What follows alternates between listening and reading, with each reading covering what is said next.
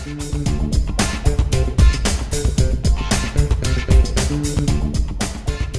there, my name is Menno and you're watching the sixth episode of my LibGDX tutorial series. Uh, in the previous episode we got the main menu screen in place and we also deleted some of the uh, code from the main class that is called by the platform independent launcher class.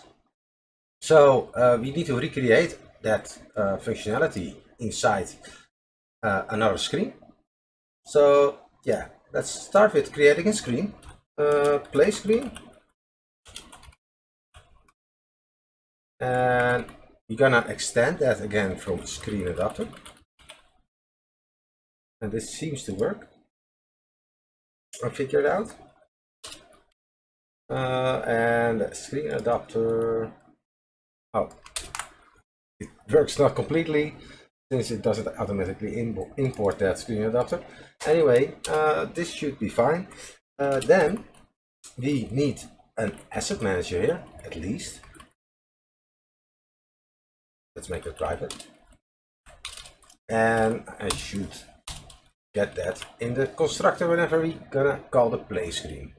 And we should do that from the main menu screen when we press the play button. So then we need a couple of uh, methods um, from the screen adapter.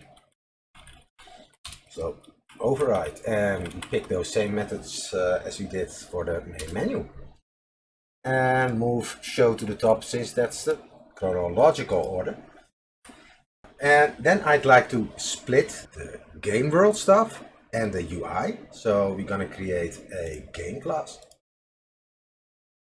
where the game are going to happen. Uh, so game world, something like that. Public. Shouldn't matter that much, but whenever you don't have this public, it's gonna be um, package private. So whenever you're in the same package, you can call it. Whenever you create a new package and start working in there, you won't be able to access the game world anymore. But if you refactor things properly, dragging things along, Android Studio should take care of these things for you, or at least uh, give you a warning. Um, then in the game world, we need our player we defined in the uh, second episode. Let's make it private as well. Uh, player, player. And we need that spawn system.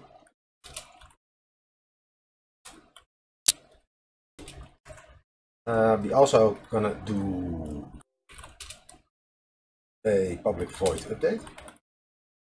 Uh, for now, give access to that delta time, which still is the uh, how long the last frame took in seconds. And draw. We can actually decouple the draw uh, method so from the game world. So we can actually create a class just for drawing everything. But I think our game will be small enough for the game world to just handle that. So we go with the draw method in our game world. There are just uh, uh, a lot of different ways to reach anything in programming. And whenever this uh, class gets too big or too messy, we can always abstract that away to their own class. Um, so yeah, we need, of course, a asset manager get to our sprites for our player and our spawn entities. So that, and we're gonna ask for that uh, asset manager in the constructor, like so. Just fill in the player for now, player, new player. Uh, what did, did, we need here? We needed the texture. So the texture was called, um, I'm gonna ask the asset manager, or perhaps, since the game world is gonna need the texture atlas pretty often here, I'm gonna create that private texture atlas, atlas, and ask the, uh, the asset manager right away for the texture atlas. Atlas equals asset manager get assets and that tile set we need. And then we don't have to call asset manager each time. We can just get it from the atlas. So atlas dot find region. I believe it was just called player. Um, and the spawn system. Um, new spawn system. Uh, this didn't need anything, but how we are actually drawing spawn system dot spawn items draw. Yeah, in order to draw these items, yeah, the texture region here, but um, so spawn system dot draw. Uh, we're gonna specify the sprite batch should we just created here. Just still a null object. So sprite batch sprite batch. And the game world is also since it's since I just said we will be drawing uh, the stuff uh, inside the game world. I'm gonna use a view a viewport here as well. Viewport port. Let's let's make that an extend viewport again. Uh, so viewport is new extend viewport. And I believe we did 1280 by 720. So now we can set the sprite batch dot uh, set projection matrix to the viewport dot um, get camera that combined. And this needs the texture region for the, the uh, items we are spawning. So I'm gonna call the atlas for that, get region, and I have no idea, we called it blue orb or something. So let's look that up, the tile set, and we call that blue power up. So get region, name is blue power up. Get regions, no get region, uh, no find. Okay, uh, and we have to say sprite batch dot start drawing, uh, begin drawing, and sprite batch end drawing. And we also need the player, and we want to draw the player on top of everything. So put that last player dot draw and give the sprite batch as well. Uh, now we need updating the things. Uh, player dot move. So first we wanted to move, but then we wanted to have to detect collisions, and that needs the list of rectangles. And we get that from the spawn system, right? Spawn items, no, get get items, get items. That's a list of rectangles. So we also want to spawn the items first. Spawn item. So whenever it's time, we're to spawn the item. And since we have uh, uh, straight access to delta here, we can actually go fill in that delta here. We don't have to get it from uh, the GDX framework. Well, this is provided by the GDX framework, of course. We're going to say add float as a first parameter to the method spawn items in our uh, spawn system. So we do that, and we're going to open our spawn system and fix that and use actually use this since we are now doing here we get it from the um, GDX framework like so we just go delta does it really matter as well but this looks cleaner to me and whenever you want to push on this delta function you can do that in our um, spawn system as well so is there anything more? Let's see what we have. No? So the spawn system is updating, it's uh, the player is moving, then it starts uh, detecting the collision on the new uh, uh, uh position we uh, entered here. Now I, I don't think the viewport is set correctly yet, so we need to have some access to this viewport. Um, viewport and we can or either create a resize method in our game world or just go here the resize is the screen should be responsible for that doesn't really matter as, uh, as well but so we're gonna go and create a game world here So this play screen is completely uh, clean here. It doesn't have this player and this spawn system. This is what, what the world handles. So we abstracted that away from here. And this screen just worries about creating the game world. Uh, as so, let's do that in the show method. This method, uh, this super method doesn't do anything. Uh, game world. Uh, no, new. And what does it need? An asset manager. We got that right. Yeah, we got that. Um, then we're gonna that dot update. First we want to update. And we specify that delta and then game world dot draw. And we want to get that viewport from the game uh, uh, from the game world and update that with those new width and height. So our spawn system isn't actually using uh, the viewport for creating items, but since we filled in the filled in the exact screen coordinates um, for the viewport, should still work. Oh, we of course need to modify. Uh, let's go here. Uh, modify our play button. Yeah, in the main menu screen. So play has been clicked, so we leave that there.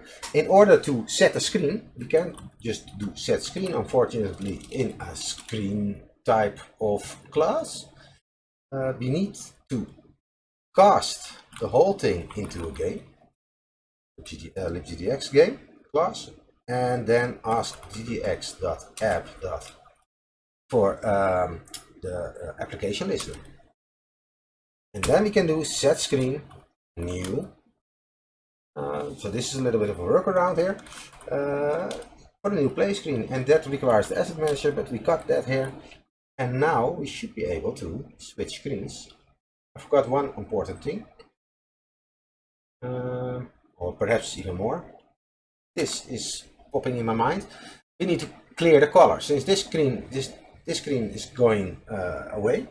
We won't be rendering it. We setting we are setting the screen uh, to a new screen. So this won't be uh, run anymore. So we need to be clearing the screen again. That happens here. So let's run this. See what happens. Play. Here we are. And we can move. And does the spawn system actually work? No. And yeah, it does work. But it spawns outside. Since this here where we are starting is about the, uh, the our world coordinate 0 0 and we are actually saying to this uh, to the um, spawn system we should spawn items from 0 0 till the screen width which is the complete width. So gonna be a little bit outside the screen. I think there's an easy fix for this. For now not a um, definite fix, but an easy fix. Um, or to know whenever we are setting this, we can do something like center camera, center camera, true. And then it's gonna put the left bottom corner on 0, 0. I think, yes, now it works again. But it still doesn't take into account the game world we actually need to provide something like a game world. And it would also be nice uh, to let our player know of this game world. So we can't travel off screen, like so. We actually travel off the screen and get lost eventually. Um, so for now, I just need level bounds. Um, and I think I'm just gonna put those in our game world, which might become a little bit messy. And then I probably move that to uh, some kind of level class. Uh, perhaps you want some uh, walls inside there the player can't uh, move through. Perhaps you want to create a maze in there. Make it a little bit more difficult for the player to access these uh, items that are being spawned. Uh, anyway, you're gonna just create a rectangle. And from now on, we've just used um, like the screen, our screen resolution for the, for the viewport. You can actually say something like uh, this rectangle is a new rectangle. Let's make that uh, like 512 wide by 265 in height. But we can also uh, always change these numbers. Uh, and then we're going to use the um, viewport to just show us that game world, that size of the game world.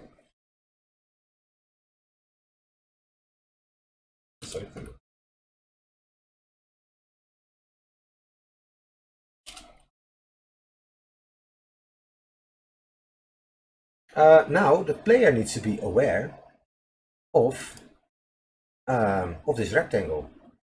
So whenever we're gonna detect collision, we need our player to be aware of this uh, rectangle. Pass in a rectangle and then we're gonna level bounds to make that a little bit more clear. And add that second as a second parameter to the detect collision method inside player. So let's hop to player right here. Control B hops to on a class, hops you to it towards it. And then here in the detect collision method, we got a Java uh, AWT rectangle, which uh, is not the correct rectangle. This is the correct rectangle. And then here in game world, we also specified the wrong rectangle, which is an annoyance that happens sometimes. We need the Badlogic rectangle. And that doesn't accept these coordinates or these size. So we want it to, to position it the left bottom positioned on 0, 0 and now it should work. So player. Now we got this rectangle and oh actually whenever we move we want to detect it. So remove that again and get that in the move. Of course, whenever we move, we want to be aware of our surroundings, right? Uh, so that was an error. Uh, what, what, what was called? The level bounds. Yeah, level bounds. And add it as a first parameter to the move method. Now, go to the move method. So we are setting uh, the velocity and then translate, it, uh, this, translate the sprite. So what we can actually do is level bounds dot within within what do we have here for functions? Overlaps set center set position xy area contains circle well contains a point. Um, no you want actually contains a rectangle. So whenever the rectangle contains we need to do this. Whenever, whenever the sprite translated, we're gonna check if the level bounds contains, so completely contains the, the sprite rectangle. Get bounding rectangle. So if we want to turn this around, so if the uh, bounding rectangle of the sprite isn't being contained by the level bounds, it means we are slightly, at least slightly outside of it. And then we want to move the sprite back to its original position. So it's, it's not the most uh, efficient way, but we can do a translate sprite dot translate and go velocity. Just put that there. Performance wise, this is nothing to be worried about. Anyway, Let's see if you can move outside. We shouldn't. Or we shouldn't be moving at all. Oh, oh, you move a, lo a lot faster and like this. I can't move the left here. I can't move to the right here. But I can move outside here. So what's happening there? Um, I have to debug this. So you actually spotted that right. Uh, whenever our uh, sprite is outside of that level bound rectangle, we're gonna double and uh, add the velocity y uh, another time. So double that speed. So we should make that negative as well. Uh, and then things should work out. So yeah, we can't move up and down. And yeah, we can't move higher than this, uh, and that's because uh, it is the edge of our um, level bound rectangle. Uh, but we used the screen, uh, uh, now the extend viewport, and that doesn't take account of the rectangle. It's just going to extend our game world. So just going to move move on and show us more of the world. Um, so yeah, you can change that back to 1280 by 720 and let's have a quick look at our desktop launcher that uses the same here 1280 by 720 that that should match again. Again move like this this. And our sprite actually is a little bit bigger. There's some white space around it. That's why I can't move anything any further. That's okay. Now, since we are using a viewport, and yeah, resize that uh, whenever we change the window size, uh, we don't actually have to uh, worry if uh, things are getting cut off of the screen, since the viewport will manage that. So yeah, this is a, like the perfect uh, scale of our world. Uh, since I specified that in the desktop, our exact size of the level bounds. What happens when we shrink our screen. Then things gonna get smaller. If we wouldn't have specified a, a viewport, things go off the screen. Uh, now there's one thing.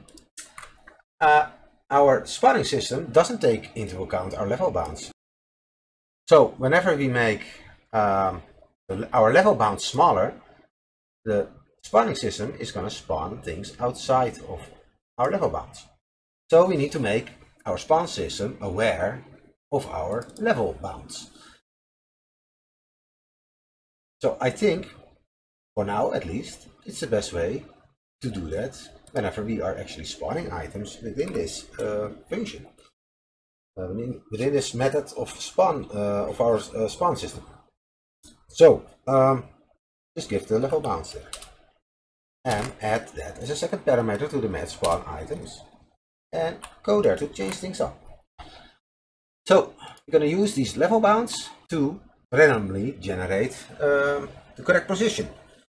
So this is not going to be GDX graphics get width, it's going to be level bounds dot uh, width and level bounds level bounds dot height.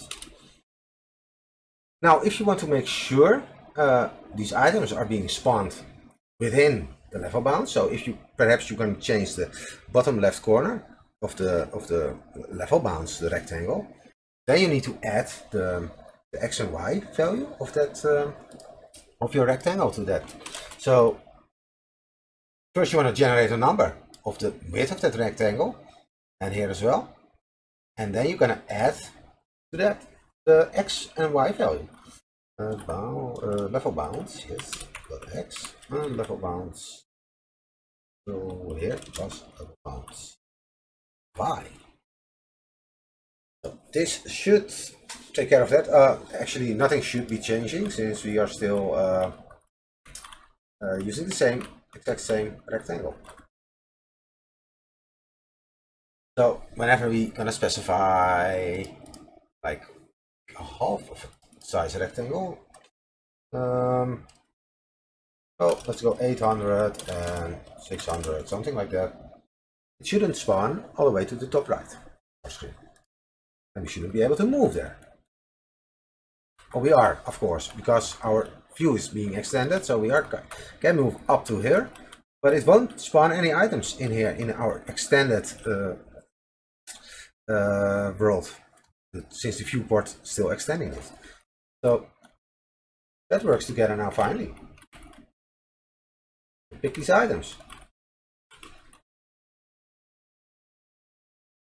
So that wraps up this episode.